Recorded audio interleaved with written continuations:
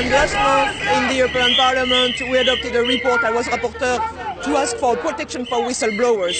So we're here in front of the Commission to ask commissioners now to propose a legal instrument to protect whistleblowers in Europe.